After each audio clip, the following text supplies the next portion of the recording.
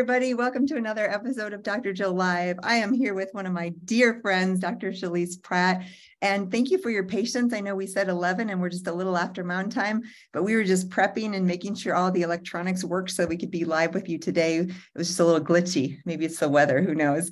Um, today, like I said, I have my friend and colleague, the brilliant Dr. Shelese Pratt. I'll introduce her, but um, we are going to talk today about the gut microbiome and some of the things you may not know, like how much genetic material it actually holds and why it impacts your genes and your outcomes and your health and your symptoms, maybe even more than your genetic profile. We're going to actually bring into um, this webinar and this uh, talk some actual tests from real patients. So if you have test results or you want to look at your own and kind of follow along, I think it'll be very, very insightful for that deep dive into kind of how to look at all these markers. Um, and if you have missed any other episodes, you can find all of the rest of the episodes where you, wherever you listen to um, podcast on iTunes or Stitcher or on YouTube. So first of all, let me introduce Dr. Shelese Pratt. We're neighbors. We're both functional medicine practitioners and um, just aligned in so many things. So it's always fun on weekends at the coffee shop or on hikes or here live with you if we can talk about these things. Um, we think a lot alike on, on this. She's incredibly brilliant at looking at the genetics and into the deep dive. So we're going to have her share her expertise today. She believes in individualized integrative medicine. Her practice in Louisville is focused on complex medical conditions relating to metabolic diseases. She uses functional medicine and her expertise in methylation and physiology to help her patients get to the root cause of their symptoms through a strategic approach.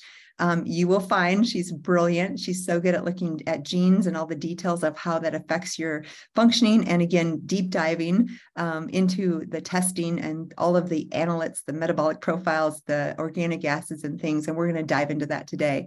The modalities she uses in her practice are traditional and specialty testing, nutrition, diet, nutritional supplements, botanicals, environmental medicine, classic homeopathy, and hydrotherapy. Dr. Pratt, welcome and so glad to have you here today.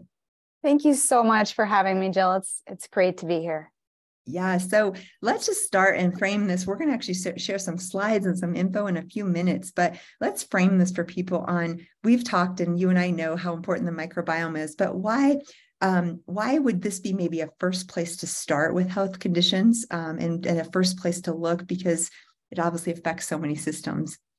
So, the microbiome is massive. We should really consider it another organ in our body. And it's it has a huge influence on how all the levers of all of our genes work because there are trillions of bacteria, fungi, viruses, all influencing our expression on our skin, in our mouth, in each tooth, in every organ of our body, but especially the GI.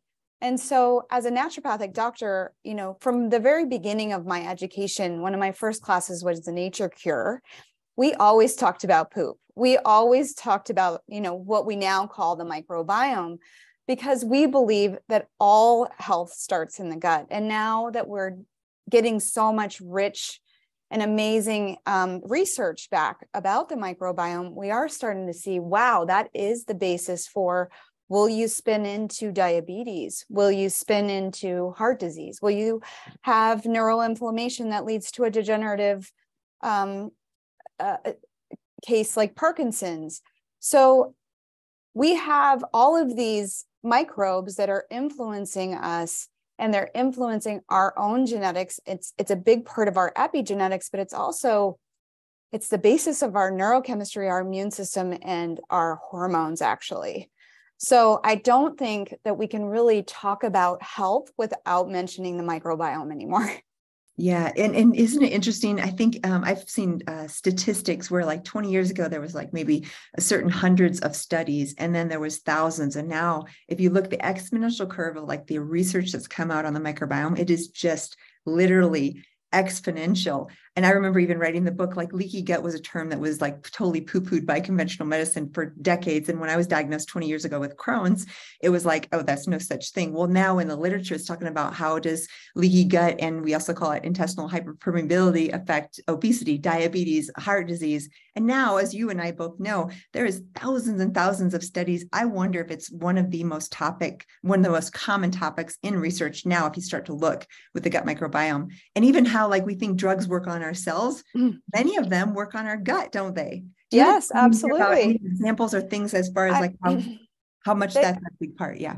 They they've realized that cholesterol medications are more acting on the microbiome than they are anywhere else. Um, and lots of drugs that we thought the mechanism of action was one thing, and we're finding now, wow, it's very different. Just like, you know, our our our drugs that we use for mood or or behavior um, there, there's new treatments in cancer now that are are specifically targeting the microbiome.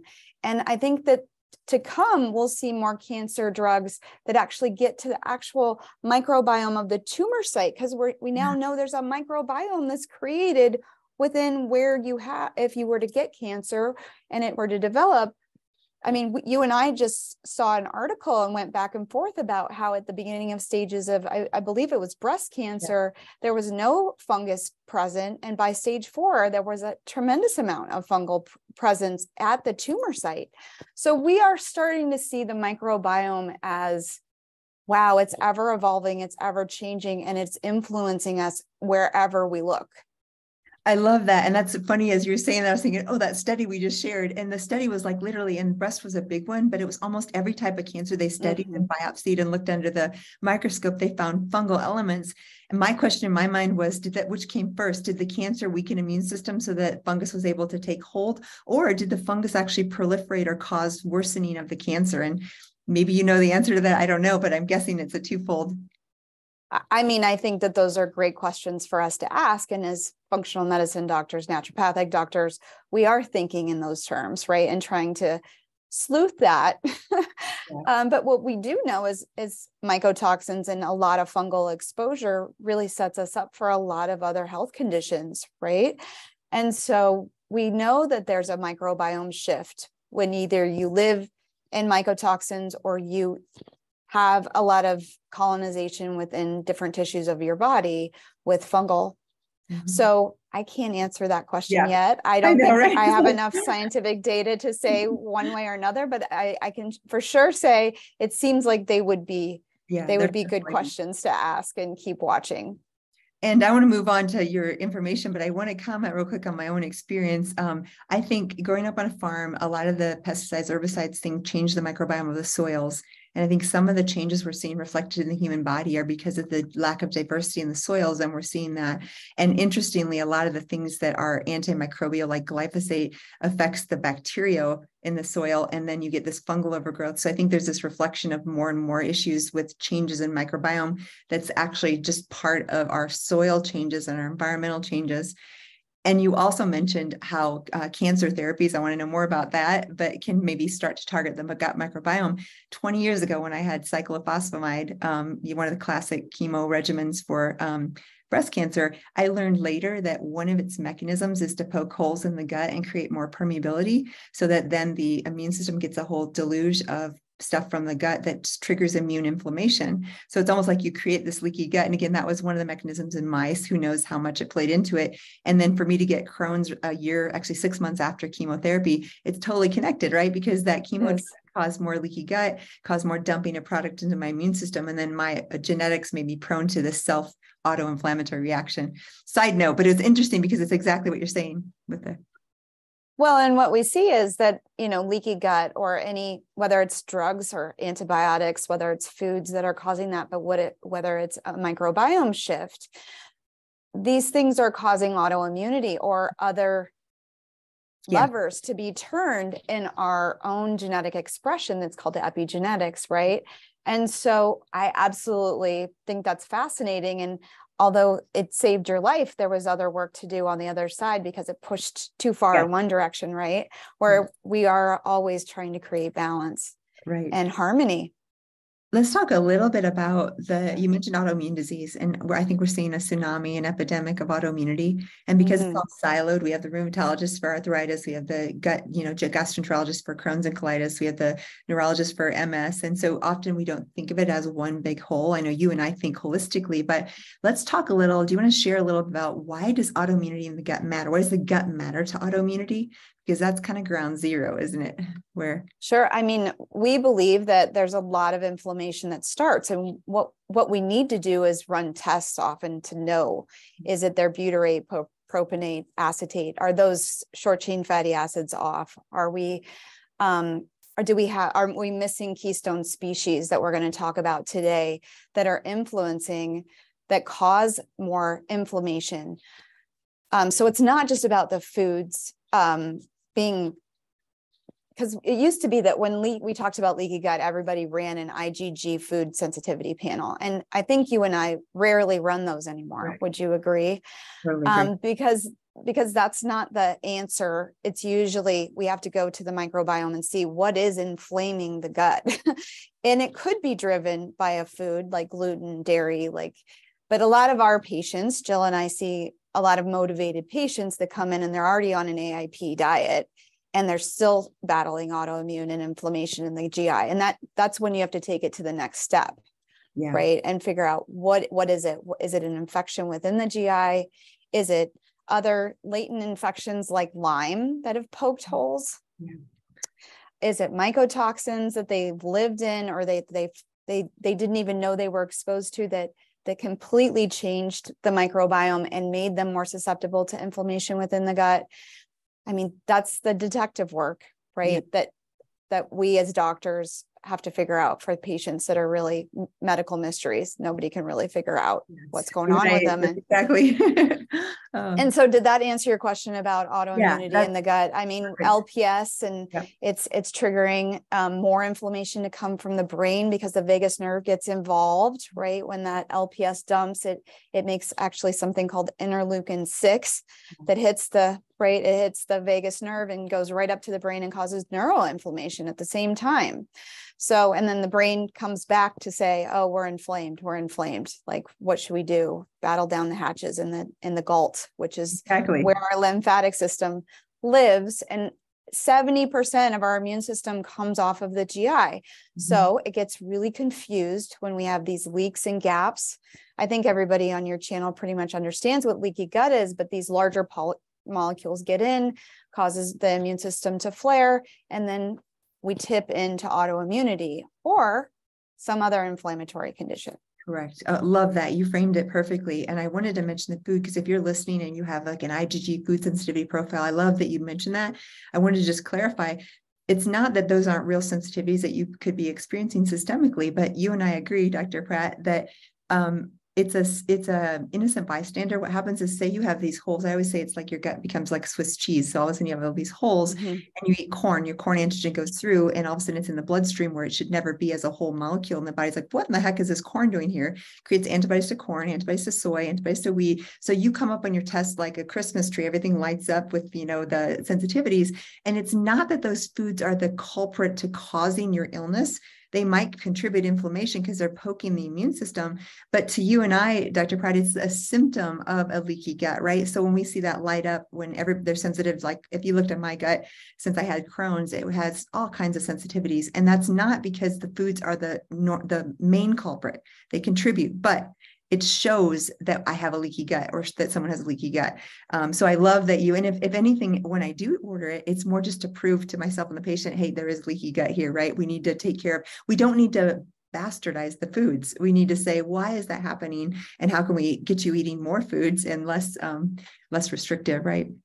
Well, I mean, you're singing to the choir here because what we really want to do is expand your diet eventually because when you have that light up like a Christmas tree on that IgG panel, it's probably because there may be a few on there that you have to continue to avoid, right, Jill? Like mm-hmm. gluten and dairy are pretty hard. Correct. Once, once that gets going, and if you have certain genes like HLA genes, you know, in your genetic yeah. report, you probably should never eat gluten ever. Yes.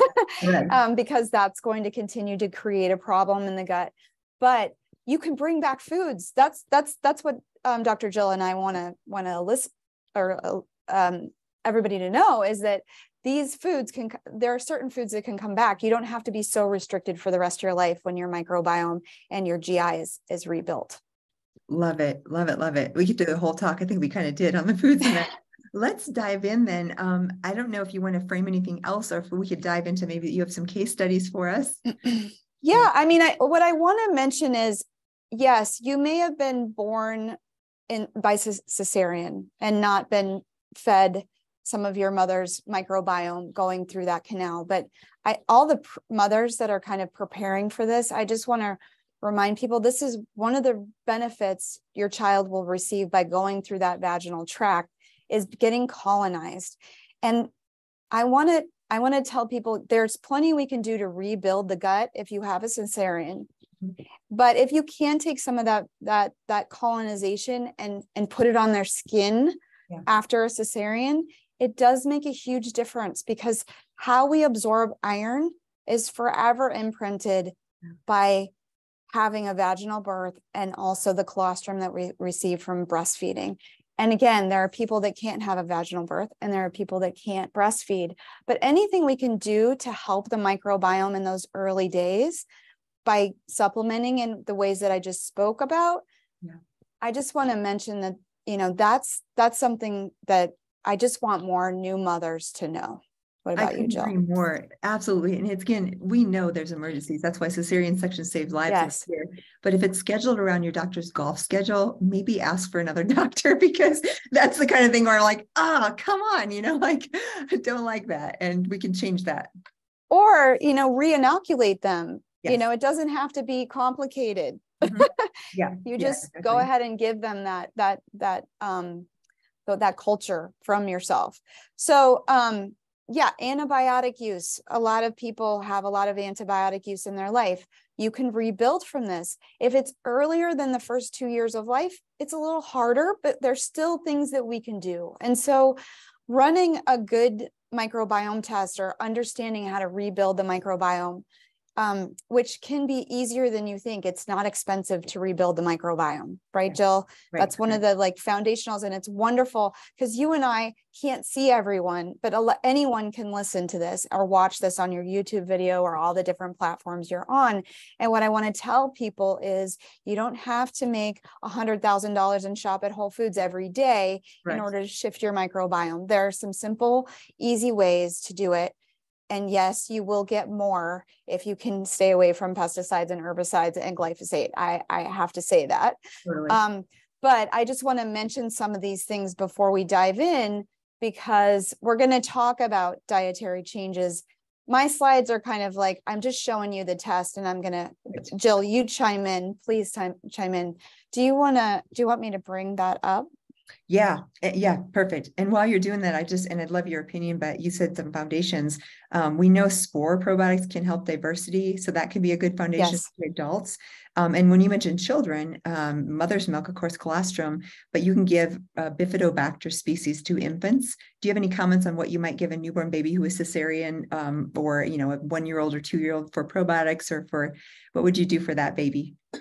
Well, I really like Nigel Plummer's work. Um, he, I think he makes probiotics from Pharmax and Sir and he has an infant formula, and he has one for breastfed and one for non-breastfed babies. And I love that H. I think it's HLC baby infant, and that's a great formula, in my opinion. Perfect, perfect. Yeah, and I think it's it has the more bifidobacter, right? Are you able to? Yes, share? I can't share. I just I need permission. there you go. okay. So everybody can see this and I'll put it into presentation. Oops, we got a little far ahead. No worries. Sorry about that. Okay. Okay, that's Yay. me. Yay. so what I'm going to show you today is my favorite microbiome test. And let me say a little why I like BiomeFX. I've run all of them really. I've run um, the diagnostics. I've run doctors data for years. I i ran great smokies all the way back. I ran genova.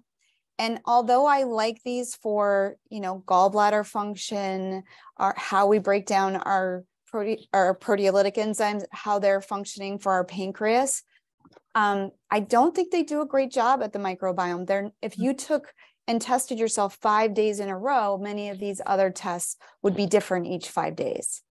Whereas this BiomeFX kind of, it's Cosmed has figured out a way to make it way more reliable. Mm-hmm. And I don't know, Jill, if you've run very many of these, but I totally agree. We're getting to the next level. And what's happening is some of those other companies that you're mentioning are starting to get on board. And I think they're going to, like, there's another company that should be having a, I think uh, Genova's having one similar, but this is right now the leader. I would agree with you. And so it it it it it's good at what it's good at, and it's not what it's not good yeah, at. So yeah. it's not great at pathogens. Mm-hmm. Um, there are other companies that are better for pathogens, but this is going to tell me those keystone species. It's going to tell me about um, mm-hmm. saccharolytic fermentation. We're going to go through all of these Perfect. things. Um, and it's going to tell me about diversity. So the first thing that you look at on this test is it kind of gives you a general idea of all of these um, these other markers in one kind of score. Mm-hmm. And what we really want is that score to be close to 30. And the further it is down from 30, the more work we have to do. So this isn't this isn't a patient that's really far off. And I'd have to say that most of my patients that I run this, they're not really far off from 30. Every once in a while I get one that is and there's more work to do, but I just want to say you might think your microbiome is really off. And we're going to talk about how this particular um, young man, even though he's 48, he's a young man, yes. um, 48 years young, um, he, he's had tremendous GI issues and weight issues and and and struggled with what to eat. And and we really figured out by this test what was going on finally. So he he and his wasn't that far off from the mark. So Alpha diversity is the number of species within your microbiome, and beta diversity is the, the differentiation within those species. Oh, so we really want alpha and beta diversity, right? We want plenty of different, the number of species to be very different. And then within that species, we want all of them to be very different too, right? Diversity is key. So AMR richness has to do with the resilience of our GI. Okay. And there's a lot of environmental influences to this. So this is the time where I'm not going to talk a lot about um, resilience, but you know, how are you taking care of staying, trying to stay away where you can of pesticides, herbicides, mm-hmm. mycotoxins, you know, infections, but also EMF. Mm-hmm. We know that that significantly changes microbiome. So no laptops on your lap near your GI. It's one of the wonders. We wonder if that's why colon cancer rates are just skyrocketing because we've had cell phones and computers on our lap for the last or, 20 uh, years. pockets in our lap. Or, yes. Yeah, totally. So we there's mm-hmm. there's a whole lot. I think you and I talked about EMF at one point, yes. but it is influencing the microbiome. So sh- you should know this. So yeah, all those all out. If you haven't heard our previous, if you look at my past lives, Dr. Pratt and I have a live where you presented Dr. Pratt about all the EMF stuff, and it's really good. So go back and watch that episode again.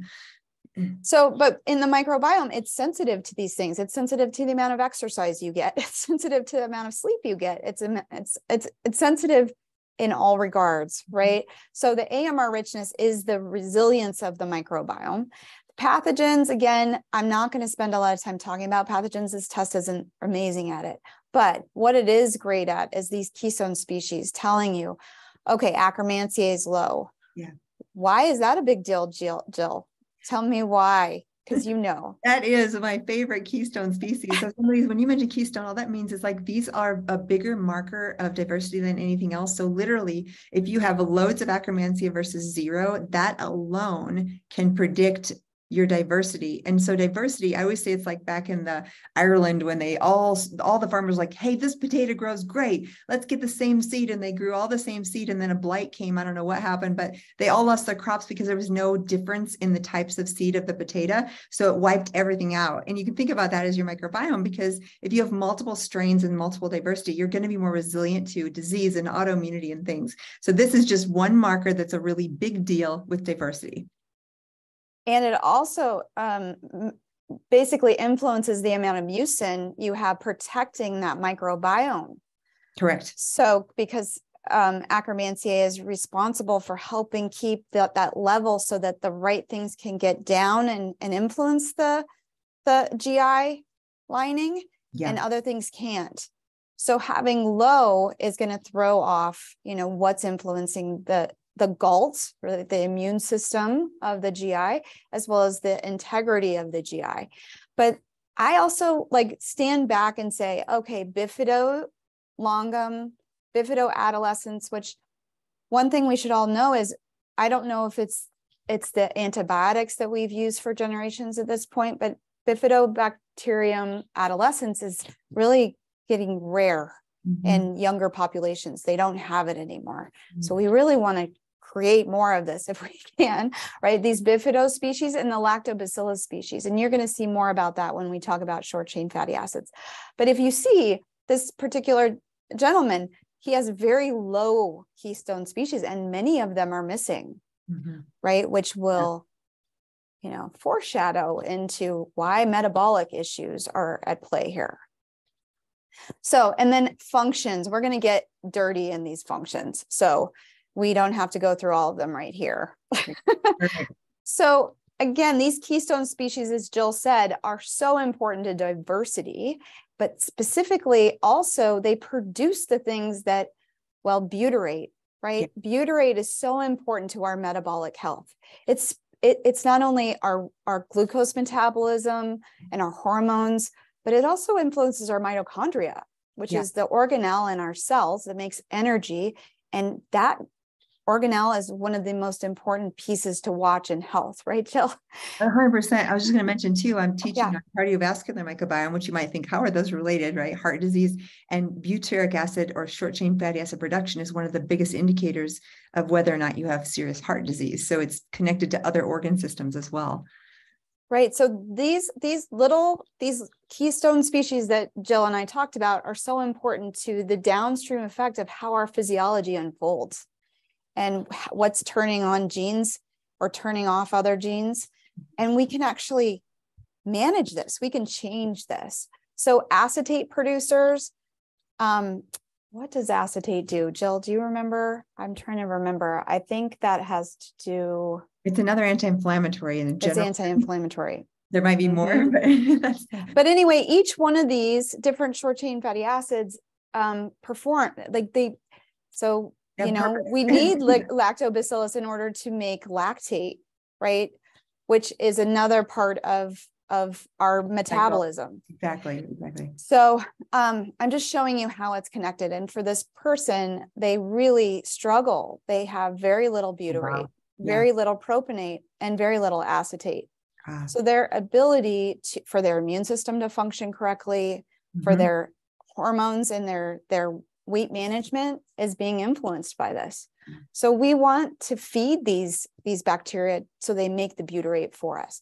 And I think Jill, you do use some butyrate in your practice. I typically try to give them the food that the bacteria like so that I can try to bring them back. But have you found that giving butyrate is helpful? I do, and especially in the cases like a severe Crohn's colitis or a, someone who's in a really bad shape where they may not be absorbing foods as well. I want to hear more about because I always feel like food is better than supplements. So I can't wait to hear what you have to say about that. I think that's the first step. But if you're not making it, or you're in it, uh, even uh, post COVID, long COVID, some of the guts, the spore probiotics, the bovine immune globulins, and butyrate is kind of the my three things that I like to use for really like inflamed guts after an illness or after some insult. Yeah. Um, one other thing I want to bring up about propionate that people may not understand, and I I don't know, I haven't seen propionate um, high on other labs, but I mm-hmm. have seen it on the BiomeFX. And I don't know if you've seen the research that suggests that high propionate can in- increase the risk of autis- autism in that mother. Yeah. So if you are thinking about having um, a baby, you know, in three, three years or two years or six months, it might be really good to run some of these tests and start using, you know, um, bovine immunoglobulins, you know, the, some of the some of the um, mm-hmm. resistant starches um, or prebiotics to help manage that propionate and that acetate and that butyrate. So um, again, acetate, I just saw it, um, is also really important in, in um, integrity of the gut. Yeah. So Yeah, I always say these whole short chain fatty acids, which are propionate, uh, acetate, all of these we're talking about as a group, they're the fuel for the cells that line the gut. So if you have damage, you have the Swiss cheese gut. This is one of the ways where you can regenerate your leaky gut, your problem gut. Um, so I just want to frame that because this is kind of the fuel for those cells that line the gut. So these are the foods that they love. Ooh, great. so it. I thought I'd bring up this slide and just Brilliant again, these resistant starches, plantains, green bananas, beans, if you're not lectin sensitive, of course, mm-hmm. and peas, yeah. lentils, whole grains or whole oat. Again, try to get it without glyphosate oat. I don't know, Jill. A lot of people are going to oat milk these days, and the amount of glyphosate that's in oats I could not agree more. I did, and I just saw I was going to mention the glyphosate because I saw another thing on beer and wine. And if you're not really careful about, hopefully you're not drinking a lot of alcohol because that's not great for your gut either. But um, that is loaded. The parts for there was so much in in the California wines and the um, beer. But then, like you said, oats and oat milk and the Quaker oats was one of the higher. I'm just going to name them. It wasn't the highest um, uh, foods with glyphosate out there. So if you're getting oats in your diet, you must pick organic. This is non-negotiable it's not or oat milk that is yeah, organic, right? Or make your own, maybe. I think or make yeah, make your own. yeah. Quick question. Um, you won't have all those um, gums. Yeah, yeah, exactly. So quick question because we have a lot of people who are like for one reason or the other on a, like a paleo, like a grain-free diet. There's lots of grains mm-hmm. and lots of uh, you know not paleo foods. What kinds of things like they could do green bananas, but what would you say would be our best sources if you are kind of grain-free or legume-free? Because there's uh, clearly some still some good things there. Well, I think um, they can do the onions, the leeks, mm-hmm. the asparagus, the chicory. Perfect. Um, they can do Jerusalem artichokes. They Beautiful. can do garlic, and we're going to talk about the situations that they can't do some of the higher sulfur foods. Um, what else? Um, well, they might be able to do plantains or green bananas because those are very low in sugar. Perfect. Um, and then if they don't have a lot of mycotoxin exposure, they can do some of these beta glucans as well, reishi, maitake, shiitake. Um, and if they don't have a dairy um, sensitivity, intolerance, or casomorphin experience going on in their brain, um, they might be able to tolerate yogurt or things Love like it. that. Absolutely. And actually the um, SCD and the um, GAPS diet both use that like homemade yogurts as a huge source of healing. So when you're not, and the caveat there would be if you're super histamine sensitive, fermentation tends to be higher histamine. So you got to know that piece. But if you, if you're not, these homemade yogurts can be really powerful. Do you have your patients do some of those like GAPS types of things? Yes, I mean, but the majority of my patients have sulfur intolerance yeah. and histamine intolerance. Yeah, so. me too, I know, right? Me too. So they're like, no yogurt. Which they're so happy when I run this test uh-huh. because uh-huh. this test finally validates what they've been feeling. Oh, see, yeah. And I'll show you in in the markers. And Perfect. and so I just went over this test with another patient, not this patient, but another patient yesterday or two days ago, and um, and they said, "What can I do?"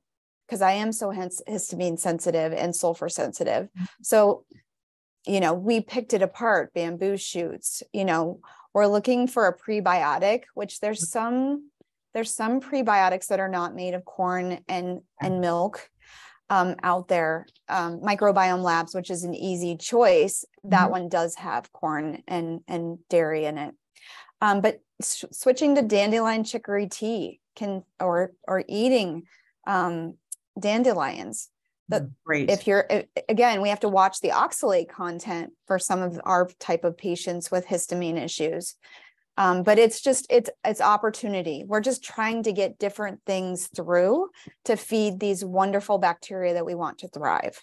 I want to emphasize something else that you're saying here without saying it flat out, because all the time you and I have patients, I can't do oxalates, I can't do salicylates, I can't do histamine, I can't yes. do, I can't do grains, I can't do, and every time I, I love that you're saying this because so often I get on my, you know, uh, blog or somewhere, well, I, I thought we weren't supposed to eat mushrooms, right? And I'm always like, what? no, it's it's individualized. So what I wanted to emphasize with that, what you're saying yes. is part of why people see you and I is because every diet is different, right? Like even if I say what I eat, it's not a classic paleo. I have some things I can't eat, like I eat quinoa, but I can't eat X, Y, or Z. So yeah. it's very individualized. And this is the kind of testing that can tell you to tell help your patients to, to be so individualized because it's complex, isn't it? It's there's no one size fits all. There is not. And Yeah. the more that I dive into the microbiome, there are things that you can tolerate today that you maybe couldn't tolerate two years from now. 100%. And there and there may be things that you can tolerate tomorrow and it's surprising like you may tolerate a high sulfur food like bok choy or Mm. or um or arugula but maybe we need to limit the amount of brussels sprouts so a lot of times i see people that are really sick and they get afraid of things and what i want to do is rework that mind to to broaden to know that a little bit here and there might be actually good for us unless we see markers on this test that i say okay really we need to avoid those for a little while but we can't stay away from sulfur in our foods forever right jill I completely agree. And I love that you're saying this because so many people get in these boxes of like, I can eat eight foods and that's it. And guess what that does? That starves your microbiome. So we're trying to get diversity here. If you stay on the diet for 20 years, your, your microbiome is going to shrink down to not diverse. So I love that you're saying that because I think that's so important because you do get people get afraid and rightfully so because they've been hurt by foods, they don't feel well. But you and I Mhm. are saying what we want to do is heal the root problem and get your diet Mhm. expanded, not contracted. Exactly. So this particular patient you're going to see, they thought they were histamine sensitive. They thought that they could never have sulfur foods. I I won't skip ahead, but Yeah. the bigger problem was lactate. Like look at how high their lactate is. That's Mhm. incredibly inflammatory for that GI. Wow. And it, we can convert it if we can we can convert it to something useful. Mhm. We just have to have the right Yeah. producers, the right utilizers.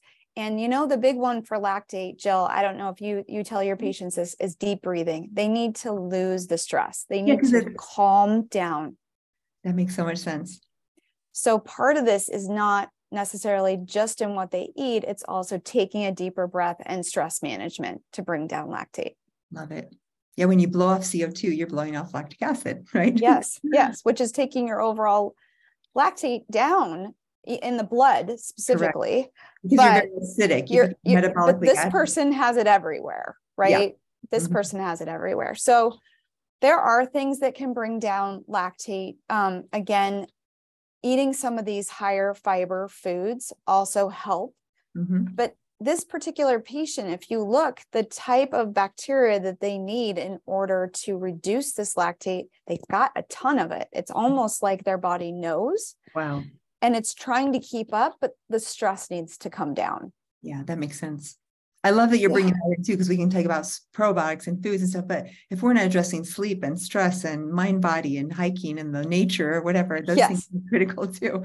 Wow. which I tell people all the time, the t- the terpenes and the the um, amino or the um, oxidative or antioxidants that you get in nature far outweigh anything I can give you.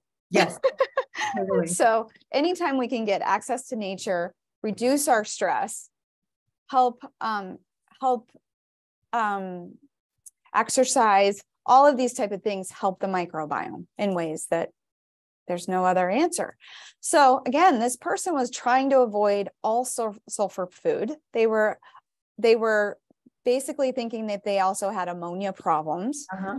But look at this test and when it does show up, man, we have to change it. And one of the things I will say if you have high ammonia, which the next organic acid test we did doesn't have high ammonia, so I want to say it now, is that you need to help with protein ba- breakdown. You need to either take bitters, you need to um, do apple cider vinegar before your meals, or you need to do some kind of lemon juice if you're not histamine sensitive um, to try to get digestion of protein to work better for ammonia production. Would you add anything to that, Jill? I totally agree because it is a, it's like, um, and on the other kinds of stool tests we talked about, sometimes you see protein in the stool and that's another Mhm. sign.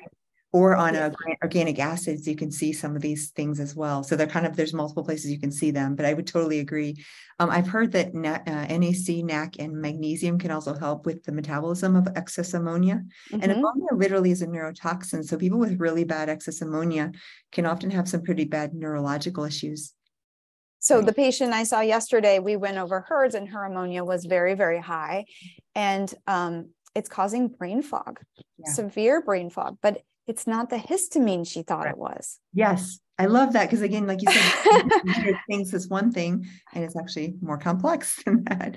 Right. So if you have very high hydrogen sulfite, let's just say this real quick because this particular patient doesn't. But if you did have really high hydrogen sulfite, you might trial maybe two weeks off of high sulfite foods, you know, the cruciferous vegetables, leeks, onions, garlic, eggs can be high in sulfur. Yeah. Even your high sulfur Ooh, um, supplements, supplements. Right? glutathione and DMSA and NAC and uh, yes.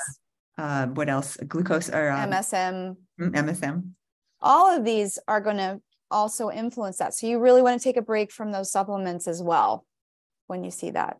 Yeah. So helpful.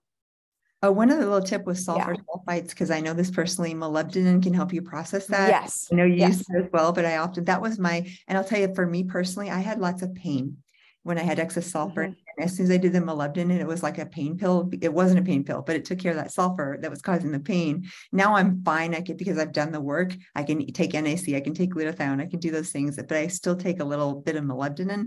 And that's a huge factor there, isn't it? Oh, thank you so much for bringing that up. Because, yes, if you actually look at how sulfation works, one of the rate limiting um, factors is enough molybdenum to actually go through the sulfur pathway. So that's you know anybody with a sulfur issue is going to benefit from taking yeah. molybdenum. And there's some great options out there. You don't have to take 500 micrograms at once. You can take 25 micrograms in drops or in a pill. There's there's lots of offerings from different supplement companies i know point. about the caps but what about the drops? Do you have a company that you like yeah Seeking Health has something Perfect. called um what's it called? I think it's sulfex Oh, cool. So with an X at the end. Yeah. And it is molybdenum and it's only 25 micrograms. Brilliant. Yeah. So as you see, this patient had been categorized as SIBO over and over. And I'm not saying that they probably don't have some of the bacterial overgrowth in the wrong area, mm-hmm. but they're not I, this test didn't show methane producers and it didn't show high hydrogen sulfite. So I'm trying to work this gentleman's brain around. We can sample more of those foods. We have data. Perfect. Love it. So, did you know? Did do all these people know how much the microbiome makes of your neurochemistry? And um, GABA is really low in this individual. Glutathione production is low uh, here's the histamine because that's considered a, a, neurotransmitter actually. Yeah. Um, indole is low. Again, helping this diversity of microbiome, the keystone species, feeding them what they like to eat, focusing on stre- uh, stress. Mm-hmm. All of these things will help right this ship. I want to mention too histamine. I love that you said it's a neurotransmitter. It is, and we know now. See, people are all afraid of histamine. Histamine's bad, mast cell bad, right? Yes. yes. Is, histamine makes us smart and sharp. So you want to balance. You don't want no histamine.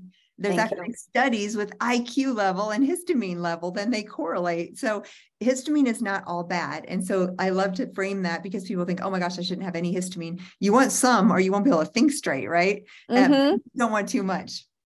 Exactly. And sometimes we, I think histamine gets blamed for a lot of things these mm-hmm. days because of mast cell activation has become such a stamp on so many people that are in our space. Um, and sometimes I try to, I try to wiggle them out of that a little bit to show them no ammonia's here. We've got maybe some hydrogen sulfite. We've got a lot of lactate um, in your gut. We've got other fish to fry here. We can't yes. just blame histamine. So, um, this also checks for estrogen phase three detoxification, which I love, love, love because I, you know, will run a Dutch for the first two, but knowing, you know, how phase three is operating and whether they need to keep that conjugation or they're unconjugating their estrogen, this is this helps us see that, and it, this is a good test to see it. So um, that is not happening in this individual but their B vitamin synthesis is very low, mm-hmm. right? B1, yeah. B2, um, B5, B6, B7, they're all kind of all over the map, but mostly low. Um, B9, B12. This person has a very hard time with managing. They also have FUT2 mm-hmm. which is um, a genetic SNP. They are homozygous So their ability to absorb B12 is impacted by that um, bifidobacterium, right? Uh, being low. And yeah, you you can look see at it. that zero folate and those are methylated. So it's different.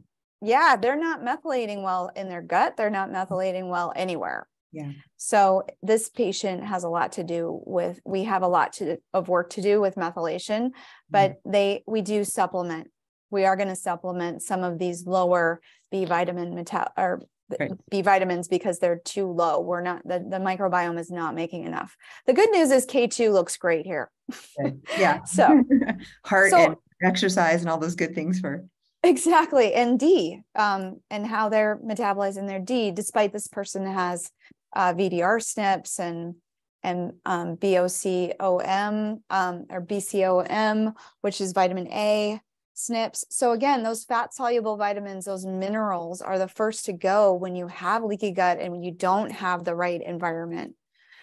So it's something that in when we look at a microbiome test if we see a lot of leaky gut or we see a lot of inflammation jill right we we oftentimes will say we need to support especially if we know you have genetic snps Yeah. that you're not getting enough of your fat soluble vitamins Absolutely. In fact, that's one thing I, I say, you know, say you're just doing serum labs and that's all you can start with something through insurance and you get sure K, A, D, E, those are fat soluble, B12, your ferritin, some of these things, uh, not all of those can indicate, but many of those are malabsorption symptoms. So if you have all of these fat soluble, B12, iron issues, often there's a gut issue.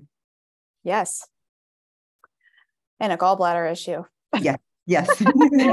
so um so this wraps up that BiomeFx but i do i really am a huge fan of this microbiome test and i i can't say that i felt as as excited about some of the other ones I totally agree. And I'm going to try to do for those listeners, I believe that there's a, you can order this direct as a consumer. So if I can get a link for that, I will add that to wherever you're watching this. I, I'm not going to promise, but after I'm done recording, I'm going to see what I can find because I think you can order this directly as a consumer. i think you can um and again it's not that BiomeFx to do the real work in between you really don't need to run that as often as uh, maybe twice a year at most maybe once a year if you're working on it and making progress um, this is not a test you run every three months that Right. BiomeFx Mhm. now this test you could run every three months this organic acid test because this is kind of showing your phenotype what how are your genes expressing themselves um, so um, i happen to be a biochemistry nerd like i really like this kind of stuff and jill You and I You- for fun, we on the weekends, Yes, like we talk do. about this.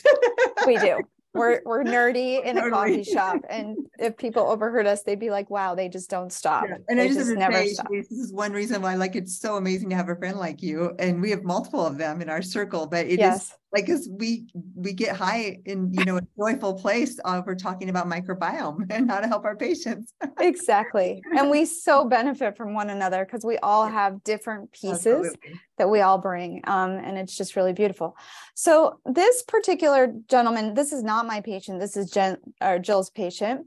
Um, i mean it sounds like from what i understand exposure to mycotoxins loves high carb di- pretty high carb di- diet has sweet cravings which i can see right here on this first page. Yep. What else would you fill us in um, has intermittent diarrhea with different um, exposure to probiotics? Yeah. Um, uh, definitely the carb cravings and mold exposure, um, which again, we can see and you can explain that about why we see that. Um, interesting, we'll talk later about Clostridia, but I think that can um, uh, manifest as dopamine driven activities. He likes adventure and kind of those kinds of things. Um, also, that can be incredibly intensely focused. Um, and I think some somewhere in that that can relate to the gut microbiome too. Surprise, surprise. Generally good mood. Um, I think that we see behaviors that try to increase serotonin, as we were talking before when we re- reviewed this. So often, if you are craving at night, like after dinner, you need something sweet, you want to go get cashew ice cream, or you want to have a little chocolate, or often that's a behavior because those carbs will increase your serotonin. So if you're like really wanting to make more serotonin and you're not naturally making that, um, you'll often have those kind of like, I need some carbs, or you'll feel a little down or a little discouraged or not great if you don't have enough carbs in your diet. Um, any other comments on, on that kind of serotonin seeking behavior? Because I bet a lot of people listening can relate to that.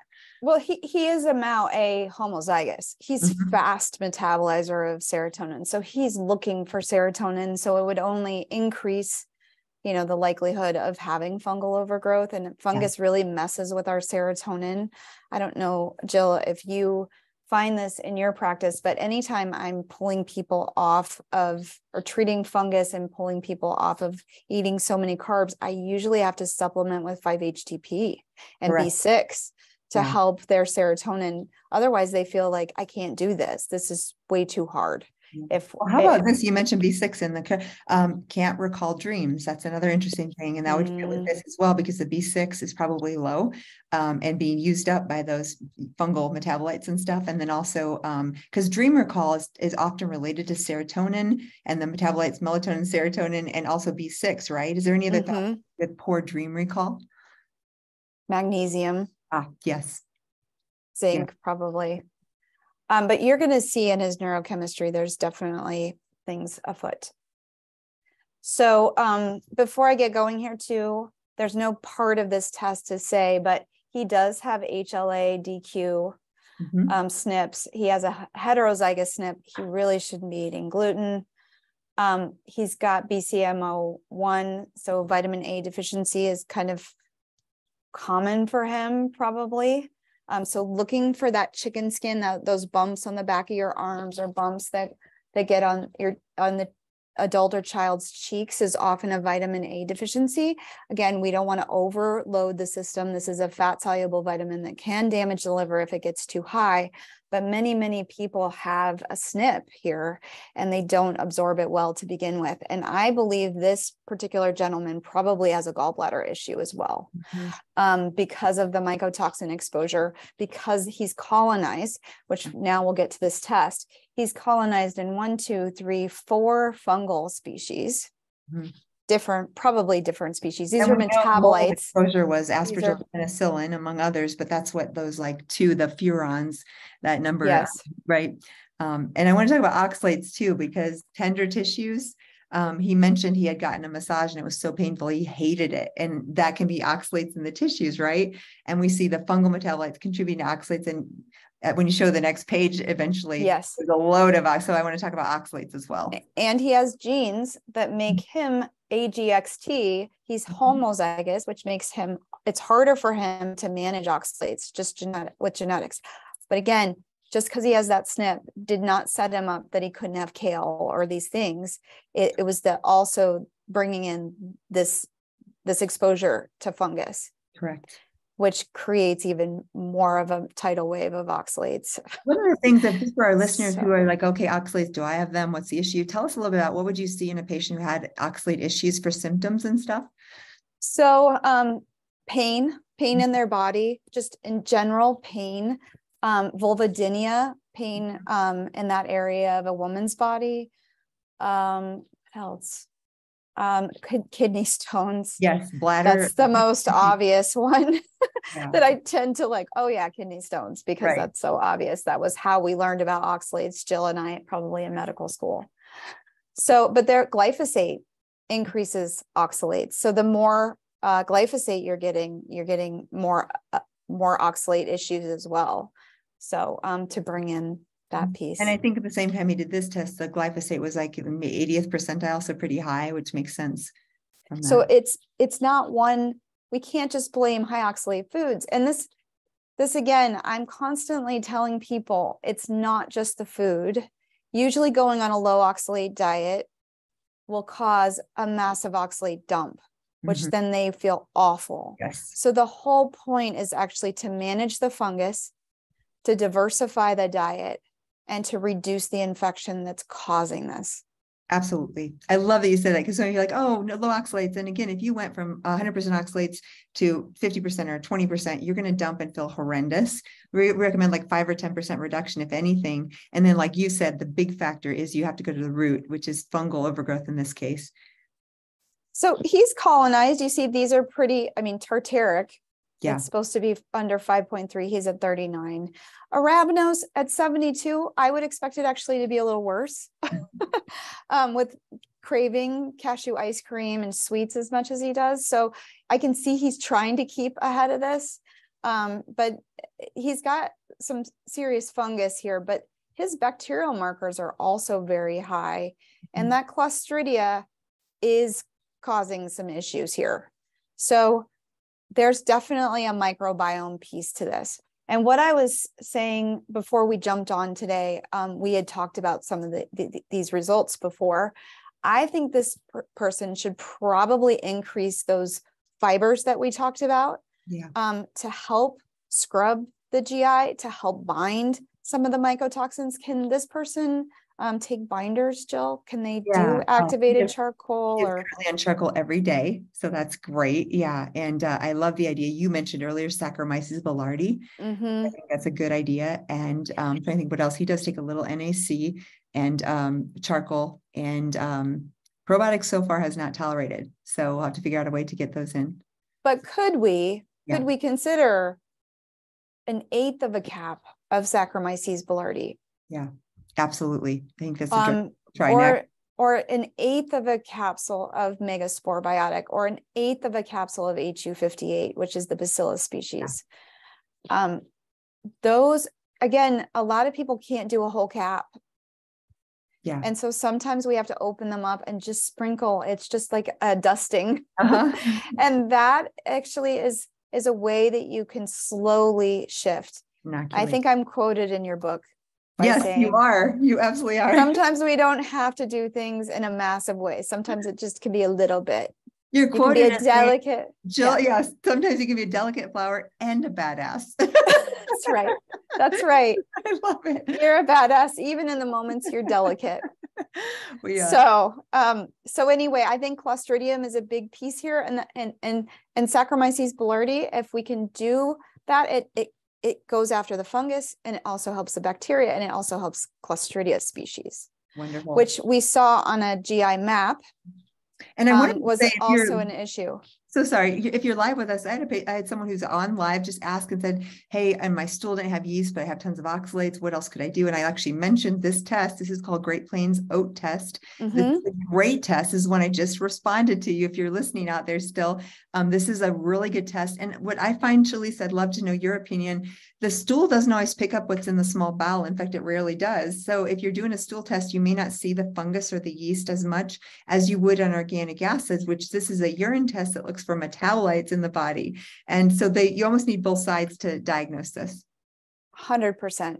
Thank you so much for pointing that out. And it's also one of the reasons why it's nice to see these back to back. I wish they were the same patient and yeah. but they are not. They're two different patients. Um, but oftentimes you can't find fungus even on the BiomeFX. Exactly. Um, it's really amazing at hiding that mm-hmm. biofilm that it creates. Yeah. But somehow organic the organic acid picks up on the metabolites not the fungus itself or the dna of the fungus it's looking at what it produces and we we see that time and time again where mm-hmm. we can actually get to it or see it yeah. Right jill totally, totally agree with you. I always do i always do stool always do organic acids and serum like that's the the one two three punch for every new patient.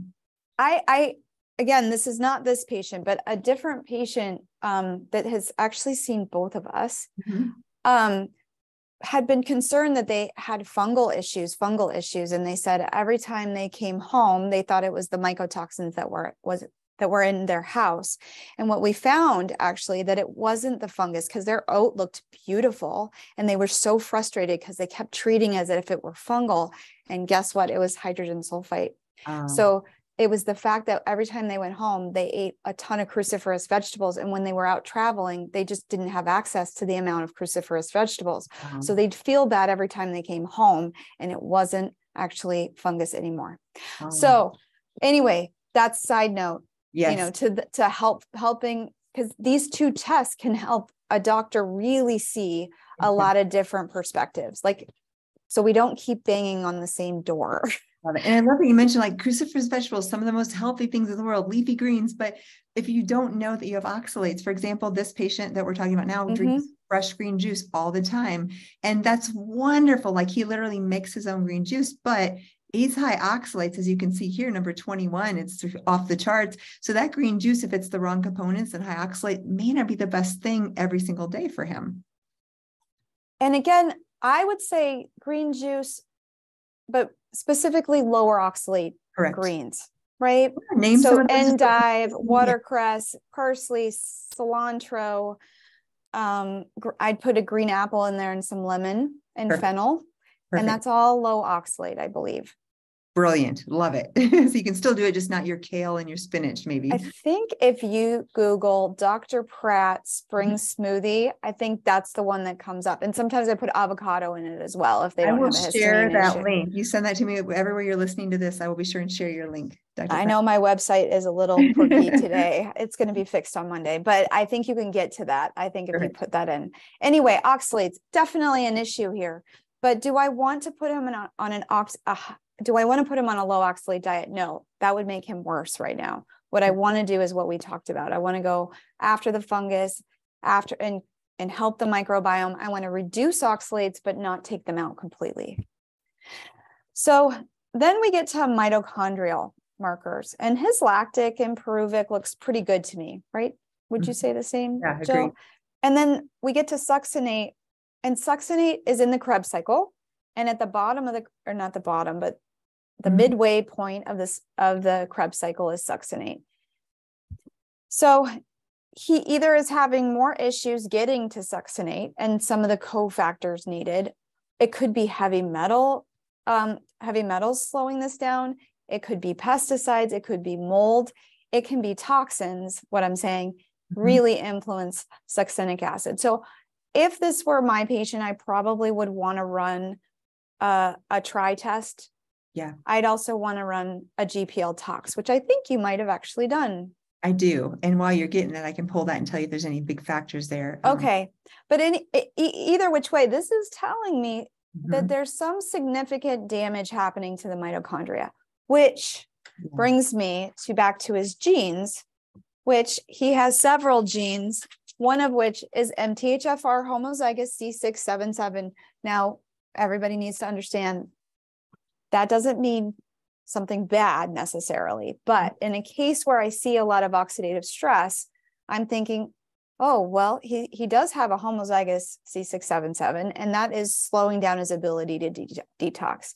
He also has CAT, CAT, which is heterozygous, which is very um, inflammatory. He's prone to inflammation and oxidative stress. So these toxins are influencing and turning these genes on. Um, he also has BHMT, which the more oxidative stress he gets, the more it can mess up his glutamate to Mhm. to um, GABA um, and his ability to manage his glutamate. And then let's see, ATM heterozygous is more, the more he's exposed to oxidative stress, that's influencing that gene. Um, PEMT, the more he has gallbladder issues, Mhm. he's prone to them. He's prone to fatty liver disease because of this do good on PEMT. choline, right? Some choline. And so that. choline might be helpful to help with methylation and also help with fatty liver, but also eating a lower carb diet Mhm. is pretty important for this individual for the risk factors that they have. But FUT2, again, he's he's homozygous as well, so low in those lactobacillus species. And eventually we probably need to pepper that something like Zenbiome Cope Okay. in there. Um, and then what other? Well, BCMO1, if you don't have enough vitamin A, that's that that creates more oxidative stress as well. So I'm just looking out for the mitochondria saying, okay, there's genes at play here that the more oxidative stress and the more um, toxins he has, which we know mycotoxins are one of those, all these bacteria are also producing toxins, right, in his microbiome. So we want to protect the mitochondria. And just a little backstory on, I just looked at the other test results. So um, he did a metals unchelated. So uh, we have tin and uh, nickel that were moderately high. Um, so that's interesting. We could look for sources Mhm. of that. And then um, on the glyphosate, I think I told you it was above 75%. Um, there was only one other toxin that was high, and it was called acrolein, which can be from Clostridia. Now it can be from gas, but I'm like, I wonder if that's from the Clostridia in his gut that's actually producing that acrolein because that's the only one that was really, really, it was in the 95th percent for toxins. And then on the mycotoxin profile, there was very high Chaetomium which is one of the worst of the worst, and also mycophenolic acid, which is immune suppressive, probably part of the fungal connection. So those are a little bit of other pieces. So we're not sure which or all, or probably the medley of the bucket, you know, that that yeah. sits in that is making this mitochondria unhappy. But this shows me oxidative stress. Is that what it shows you, Jill? Absolutely. Totally agree. Mm-hmm. And we have a little CoQ10 on board. Not that that fixes the whole problem, but it actually helps a little of that succinate pathway. CoQ10 would help that. B12, magnesium, selenium might mm-hmm. help this a little bit. And um, well, folate. Thanks. Perfect. So, um, which I believe this is, he's, is he vegan? Yeah. Okay. So, um, probably need more because one, two, three, four mitochondrial markers out. And mm-hmm. then this number 32 is, is getting near yeah. the end there. So, so methylated um, bees, uh, mag, um, the CoQ10, and then maybe maybe some changes in diet. We'll see about if we'll go for that. And choline and choline, choline yes. getting back to the choline. Yeah. Okay. So now we're talking about neurotransmitters. Now, Jill alluded to this or foreshadowed. There's mm-hmm. Clostridium at play. So it could be driving up his, markers, right? HVA yeah. Um, can be influenced by Clostridia. He did not have a COMT SNP. I was kind of shocked. Like, okay. Huh. So it could be though that he's grown accustomed to feeling this much dopamine though. Yeah. Yeah. Which I'd want to weed him down for that because what we know about high dopamine and too long of states is that it actually it works against us after time, right? This is brain damage, doesn't it? it causes brain damage. It causes um, cognitive decline. Mm-hmm. Um, so and we're seeing this in the gaming community, right? The kids that or the adults that game for hours and hours at a time, their neurotransmitters look a little like this too, with or without Clostridium at play. Or, or I think we talked about this before, or they take quercetin, yes, green tea extract. Jill told us the last time Jill and I um, did this Facebook Live, she told me she took five quercetin at like, one time. You like, probably came up here to meet this patient. You probably would have like had a really fun mountain climbing experience or something. That's so funny. I have to tell you that the rest of the story. So this is like a year or two ago when I had more estrogen and I had more dopamine, and I literally I had an allergic reaction, which is also antihistamine. Like oh five, if one's good, it's I forgot that I was a delicate flower. Yeah, delicate flower. Better. And I always say, you know, like when right if you get in a car accident, you're just like literally internally just totally traumatized and shaking from that adrenaline rush. I'm driving home from work and I'm like, why am I so shaky? And and like I felt it inside me, like this buzzing. And I'm like, oh, the quercetin, it blocked the breakdown of norepinephrine and epinephrine. And I was like in this total adrenaline state. It felt horrible. It wasn't good. Uh, but what's funny now, Dr. Pratt, is I can take like a one, and I usually take one a day. And because I'm lower in neurotransmitters, the adrenals are way lower now. The estrogen is lower. It actually helps. So you can use it mm-hmm. times in your lives. It's all about balance, mm-hmm. right? Yeah. And so some of the things that like this person should not take quercetin probably right now. Mm-hmm. Agreed. But what I don't like what I really don't like is the quinolinic acid. That is a neurotoxin. It means that he's got he's stressed enough and B6 deficient, right? Mm-hmm. Will also cause you to fall back from making serotonin, which he's looking for for that MAO A and MAO B. He really wants serotonin, but instead he's taking that tryptophan and tipping back into the kynurenine down IDO1. And he's making both kynurenic, number 40. See, that's pretty high but the quinolinic acid is way too high. And that is a neurotoxin. Yeah, that's the one. That's the one on this whole. So, you see that high. I, I want to just emphasize because that's my most scary. I'm like, do not like that one because that is literally neuro. It literally burns out the neurons. If we can say it in kind of a generic way. Yeah, yeah. No, it's and it can cause irreversible damage if it stays high for a very long time. So all my kids on stimulants or adults on stimulants, I run out organic acid to check quinolinic acid regularly on them to make sure we're not tipping tipping into this. So when I see this, the first thing I want to do is give him glutathione, magnesium, B6, yeah. right? Again, um, to help that quinolinic acid breakdown. All right. But I will say shockingly, this patient does not have, it doesn't look like they're deficient in glutathione. Mm-hmm. Um, but again, you said another um, another marker showed you that Clostridium was at play. I think this is driven by Clostridium and the bacteria. Overgrowth. And what we're doing, and I love your thoughts on this, you can do obviously heavy hitter meds like metronidazole or vancomycin or the new Difficid, but I don't like to go that direction. I will say there's some studies um, in children with pulse dose vanco or pulse dose, so you can use that. In this patient, we're using black cumin seed.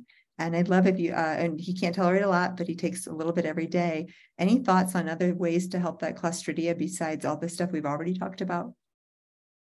No, I keep kind of wanting to come back to just a little bit of bacillus. Yep. And perfect. a little bit of spore based bacillus and perfect. a little bit of Saccharomyces. I agree. We're going to try that next. But just just a little. Mm-hmm. And then we just build up. We build up to a fourth of a cap. Perfect. And then I'd like to work on protein digestion where he does get protein. I want him to get more from it. You know, bitters would be a fantastic addition to help that gallbladder, to help that vagus nerve, to help reduce stress, right? But mm-hmm. also help break down proteins and the proteins that he is getting from his vegan diet.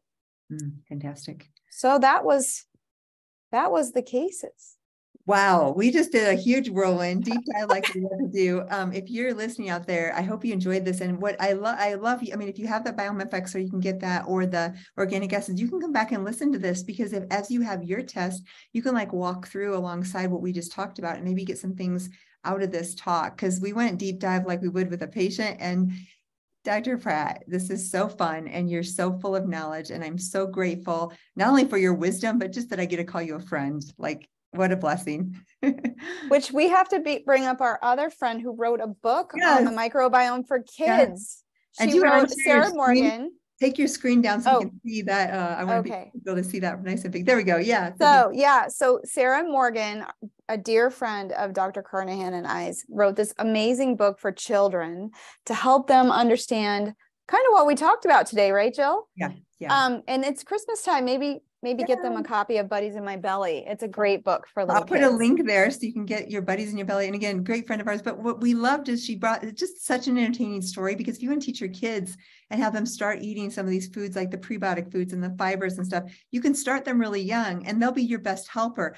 Um, I have a close friend who works in my office who feeds her kids and she's like okay kids and they can't wait. They run into the kitchen to get their probiotic and their stuff and it's liquid. So they like take it on a spoon and she sent me a video the other day. It was awesome because i was like oh my goodness this is so great because the kids are like mom mom can we have our treat? You know and it's the medicine it's the probiotic it's the good stuff. So you can teach your kids really young to start doing these things.